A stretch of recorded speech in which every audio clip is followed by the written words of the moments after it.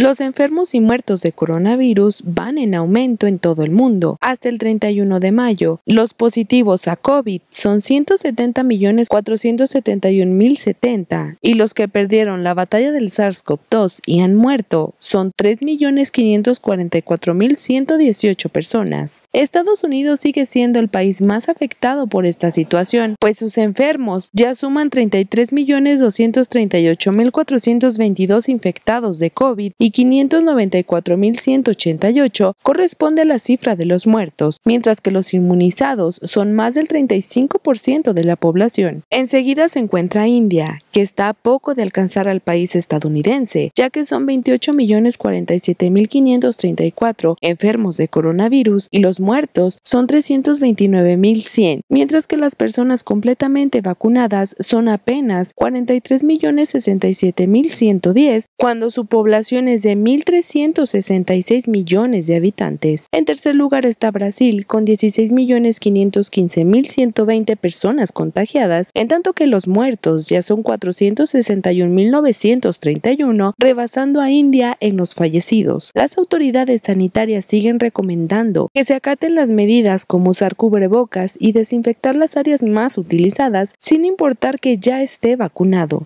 informó para el sistema de noticias TV Libertad Anaís Mireles.